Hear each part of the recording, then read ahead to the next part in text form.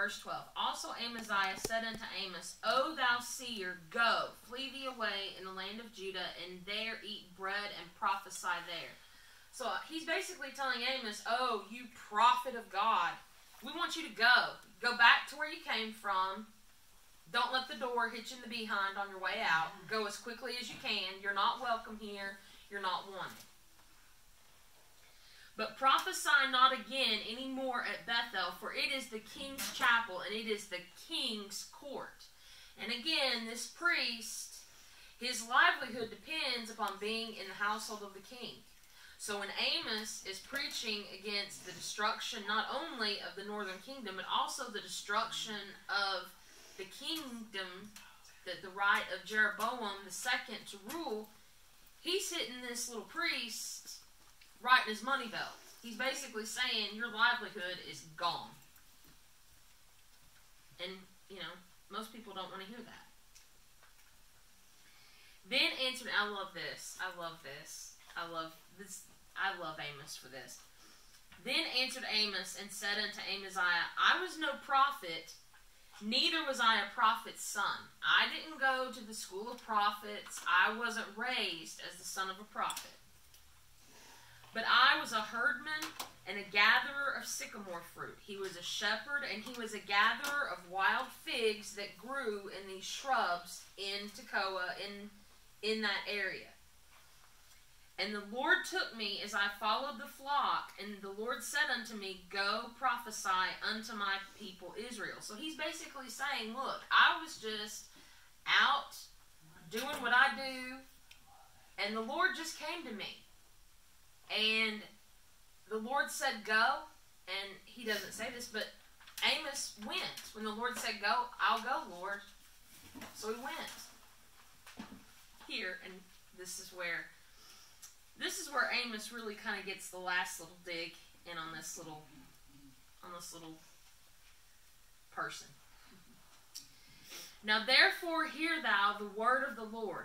Thou sayest, prophesy not against Israel, and drop not thy word against the house of Isaac.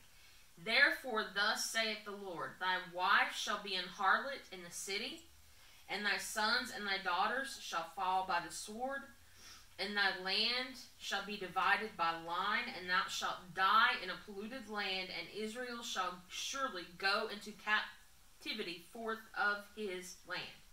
Basically, he's saying, when the Assyrians invade, your wife is going to be made a harlot. We won't go into that, but and not just her, but all the women. Your sons and your daughters, if they're small enough, are going to be murdered everybody's gonna the land is gonna be divided nobody's gonna be safe every house is gonna experience this from the highest house of the king to the lowest house of the poorest person and he's so bold he is even like even that. even knowing a consequence I like that. Happen. That's why I like Amos because Amos just really, I mean, Amos goes. He, um, you know, I mean, because in um, like I said, when I prepared for this and I was reading and uh, I was reading the notes and outlines of Dr. McGee, you know, Dr. McGee says he says I interpreted that he left. He left the Northern Kingdom, but he went back and he wrote the remainder of what was said. I got a, I got a little point here that just came to me. Lord, the Lord showing me here. Back up here to verse nine. Uh, Amos said, "In the high places of Isaac shall be desolate." He's talking to Amaziah and the sanctuaries of Israel shall be laid waste. This, this is to Amaziah, and I will rise up against the house of Jeroboam with the sword. That's actually before, though. This, this is what I'm going to. To 10, this is Amaziah speaking. Then Amaziah, the priest of Bethel, sent to Jeroboam, king of Israel. Now he's going to send to Jeroboam the king, but he's sending him this reply after verse 9 and he's saying his own death warrant. He says, yep. Amos has conspired against thee in the midst of the house of Israel. Now, he, this is Amaziah that's conspired against the right. king, right. not Amos. The land is not able to bear all his words. Not Amos's words. it's Amaziah that the land cannot bear because of all his lies and deceit. That Well- he, he's trying to cover up God's correction, and he's saying And that's why he wants Amos to basically get out of he's town. He's telling him to get out of town, but it's Amaziah saying that he's going to get him out of town, but it's Amaziah that's going to get out of town. True. And I It's mean, just the opposite. you could basically you could basically say that this is kind of like the situation similar to Xerxes and Haman. the same thing. It's the exact same thing. Haman hates Mordecai because he is trying to convince Xerxes that Mordecai, the Jews, want to take over everything. It's not the Jews, it's Haman. The Same exact thing. Same You're right. exact thing. Yeah, it's the same spirit. And he's planning the death of Well, the king. I don't know if he's I don't know if he's going to do that or not because I think he wants to take over, but I don't think he's going to kill the king because Now if he kills Haman wanted to kill the right. king. I don't think Amaziah wants to kill the king though because the king is his bread and butter. He he kills the king and he's out of a job potentially. So I don't think he's going to do that. All right, chapter 8. Thus hath the Lord God showed unto me, and behold, a basket of summer fruit. Now, the summer fruit is a is a picture of overripened fruit. And again, I'm not an expert on growing things. I've grown a few things. I mostly buy my produce. I'll be honest, but whenever fruit, I've I've bought it and it's become overripened. One of the things I've noticed about overripened fruit is it rots from the inside out. It turns nasty way down deep inside, and it takes it can take maybe a couple of days or something before you start seeing the little brown spots or smelling something kind of funny going on with the fruit. So to me, the basket of summer fruit, that's basically the northern kingdom. They're rotting from the inside out because of the corruption of Baal, because of the corruption of Moloch, because of the corruption of Cain, of all of these pagan this these the pagan worship. That's that's really been been in place there since it goes back to Ahab and Jezebel. It was there before, but they're the ones that just really kind of set that path in motion. And it never really, and it just got worse. And he said, Amos, what seest thou? And I said, A basket of summer fruit. Then said the Lord unto me, The end is come upon my people of Israel. I will not again pass by them anymore. Again, that is just, when I read that, that to me is so. That makes me shudder almost more than hearing about the cities, the desolation of the cities. Because when you don't have the presence of God, the presence of God and God passing by his people, that's what makes so many of the hardships and the things that we suffer in life bearable. That's the one thing that makes it bearable. And when God says, I am so fed up with you and I am so disgusted, I'm not going to pass by you again, that just. Mm, He's had it. that's, yeah, and it's, and that is, yeah, it, it, my inside, it, it makes my inside shake when I read that. Because I'm like, dear Lord, please don't ever let me get to that point. Okay, here we go. And then verse 3 And the songs of the temple shall be howlings in that day, saith the Lord God.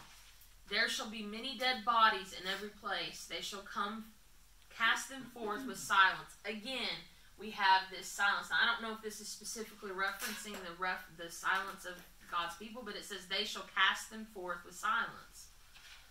Um, I think it fits into what Myra and and and uh, Jeffrey said earlier because so much, so many times I'm guilty of this too. I am. We we go silent. All right, and then verse four. Hear this, O ye that swallowed up the needy, even to make the poor of the land to fail, saying, When will the new moon be gone, that we may that we may sell corn, and the Sabbath that we may set forth wheat, making the ephah small and the shekel great, and falsifying the balances by deceit? Again, this goes to the worship.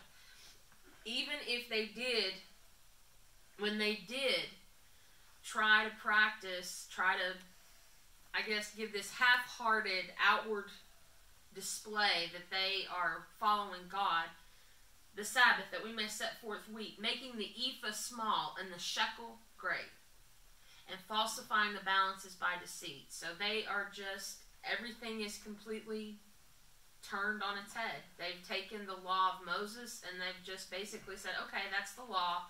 This is what we want to do. We want to seem, we want it to seem like we're outwardly worshiping God, but we're really not going to do what God says. And we're just going to do it our way. That that's one thing we don't have to worry about these days, aren't you? That that never that that still never happens. We don't see that anywhere, do we? I'm being rhetorical. um, you know, nobody does that anymore. Number in verse six, that we may buy the poor for silver and the needy for a pair of shoes, yea, and sell the refuse of the wheat. So when people become so poor and needy they can't make ends meet, they will sell, but they people will, will sell themselves into slavery. There was a um, there is a, a portion of the of the Mosaic law that did speak to that, the specifics of that. Um, and the needy for a pair of shoes for not and they're not even selling for things that not to get ivory couches anymore and the needy for a pair of shoes so just to have the basics of life, just to make sure your feet are covered, so that when you walk out, you're not your feet aren't covered in sores and blistered and cut. Just the just the everyday necessities. That's that's so sad. Verse seven. The Lord hath sworn by the excellency of Jacob again, the pride hath sworn by the pride of Jacob. Surely I will never forget any of their works. He's not he he's seen what they've done. He's seen the pride of their hearts. He's not going to forget what they've done. They, and back up there where it says, and sell the refuge of the wheat. What's they, left over? yeah, they're selling. It's not the good part. Yeah, they're they're selling the nastiness. Um, and then verse 8 Shall not the land tremble for this, and everyone mourn that dwelleth therein? And it shall rise up wholly as a flood, and it shall be cast out and drowned as by the flood of Egypt. So basically, it's talking about the the land. You know, the land mourns. I mean that you see we saw that in Joel. We see that in other parts of Amos too, where that Jeffrey just read. Where when God's judgment comes upon the land, it doesn't just come against the people, it comes against nature, and nature cries out. And it shall come to pass, it shall be cast out and drowned as by the flood of Egypt. Now, what that is referring to is every year, mostly, the Nile would flood every year around the same time. And based on that flooding, it would leave the land, it would enrich the land with nutrients and would give and would leave a silt behind that made Egypt the breadbasket of the world. I mean, in the Roman Empire, Egypt was the breadbasket of the world. They fed most of the people. They fed Rome. And part of that was because of the annual flooding of the Nile. And it shall come to pass in that day, saith the Lord, that I will cause the sun to go down at noon, and I will darken the earth in the clear day. Again, we have this image of the sun, the sun going dark, darkening the earth on a clear day. It doesn't specifically say this is the day of the Lord, but I mean, I think the imagery is clear. I think it's at least pointing somewhat to that because that's that you get that with the day of the Lord. My footnote says that it's referring to an eclipse that was dated oh. 763 BC. Okay, well, learn something new every day. I didn't realize I that. what years Amos was written. Well, it's not true, but it's uh, it's 687, but they're calling it 750. You know, yeah. But there is an error in our in our understanding. I didn't want to go in detail because I don't I don't have a way to prove that yet. But the um, the only way that there's an error. Uh, I'll bring that up later someday. Yeah, let's let's keep moving. Yeah, keep moving. It's what I. Um, verse ten, and I will turn your feasts into mourning, and all your songs into lamentations, and I will bring up sackcloth upon all loins, and baldness upon every head, and I will make it as the morning of an only son, and the end thereof as a bitter day. So what he's saying is, I'm going to turn the feast. It's going to be mourning. Your songs are going to be songs of lament and woe because of what you suffered. You're going to be wearing sackcloth. You're going to, and the baldness upon every head. Usually, when people, when they would put on sackcloth and ashes, they would shave or at least I don't know, cut their hair as a sign of mourning, the baldness upon every head, and I will make it as the mourning of an only son. The mm. only son in a house. And basically, if that happens, you have only one son, and that son perishes, you can pretty much guarantee that that lineage is going to die out. So it's talking about the end thereof as a bitter day, the end, the end of this, the end of an era the end of a son, the end of time, the end of the end thereof as a very bitter day. What's worse than losing a child? I can't think of anything. And in this day and age, and back in this time, losing a child was bad enough, but to lose the only son, that was especially that was that was really intense. That was that was a loss like no other. Okay, and then this is to me, this is the saddest. This this is just really sad verse 11 and i have in the in the in the head note above it a famine of god's word and that's just that's just so heartbreaking behold the days come saith the lord god that i will send a famine in the land not a famine of bread nor a thirst for water but of hearing the words of the lord and that mm. is just so so mm. sad because the picture we have in the Bible, especially of Jesus, Jesus talked, he referred to himself as the bread of life. He's the bread. He's also the water of life.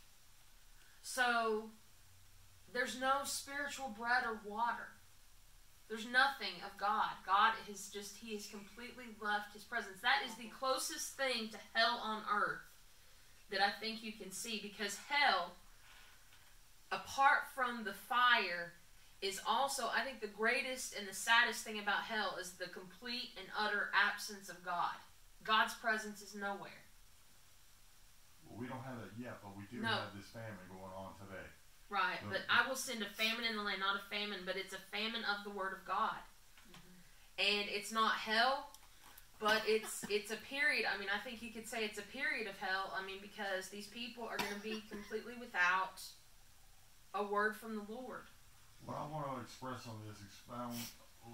The problem is we know Jesus, we know baptism, we know the cross, but the, the thing is in Hebrews, I think it's chapter 9, he said to move on into the deeper things of God. hmm He said to, to do it.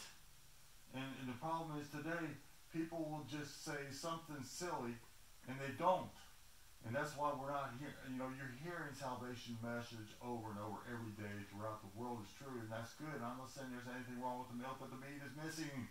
Well, and and the thing that's sad about this is we don't have to rely on the audible word of the Lord coming to a prophet because we have the we have the word. The written. We have the Bible. Yes. And these people, they had the Torah, but they didn't. But that that I don't. I, the law is not uh, is not the complete word of God. I mean, because there are things that God said to prophets that that weren't said in the Torah. I'm not trying to. Does that make sense? Like I think that. I don't know. They weren't following the Torah. They weren't following Moses. They were not following the law. This was all predicted. God And- said this was going to happen Right. before it happened, and Right. it was all it was all prophesied. And I, I could never understand that. Why why would these people do that? And what I don't understand is you think that somebody would turn to somebody and say, uh, Aren't we we- sick of this? Are, are we tired of this? What isn't it obvious that we aren't following God's law, and this is what law, God's law said? And they never would. No, it's like the, the righteous, the prudent, they kept their mouth shut. Mm-hmm. Okay, moving on. Verse 12. And they shall wander from sea to sea, and from north, and from the north even to the east. They shall run to and fro to seek the word of the Lord, and shall not find it. That's sad because they are going to be they're going to be spiritually they're going to be spiritually thirsty and they're going to be spiritually Starved. starved and they're not going to get any relief. They're not going to get the cool touch of one little drop of water from the word of the Lord in their hearts. They're not going to get the feeling and the satisfaction of being in the presence, knowing that you're in the presence of someone with the word of the Lord and knowing that you if you repent you can you can be in God's presence again. They're not going to feel that. And that's why I think when I think of this, I think of this as this period, this is like a hell on earth because there is nothing of the presence of the Lord. He has completely taken his presence Wow. away for a time, and it's and it's it just it breaks my heart. It really does. Verse thirteen. In that day shall the fair virgins and young men faint for thirst. So even young people that should be healthy and vigorous and filled with life, they're going to be fainting. They're going to be because they're going to be thirsty and they're going to be hungry. Again, and this is again I think a way for for Amos to say this is everybody. This isn't just the old. This isn't just the young. This is every single person is going to experience this. They that swear by the sin of Samaria and say, Thy God, O Dan, liveth, and the manner of Beersheba liveth, even they shall fall and never rise up again. So I think this is the people who say, Oh, we're in Samaria. We're on a hill. We're safe. No, you're not safe. They that live by Dan. Dan was the, the geographical location of Dan. It was very close to Philistia. And so, thy God, O Dan, liveth. I think that's talking about the paganism again, referring to all the paganism that's run amok in here. Dan's And the in manner and the manner of Beersheba liveth. They're going to be calling upon Samaria. They're going to be calling upon their gods. They're going to be calling upon the the tradition associated with Beersheba, with all of these things, and it's not. And there's, it's not going to be enough to save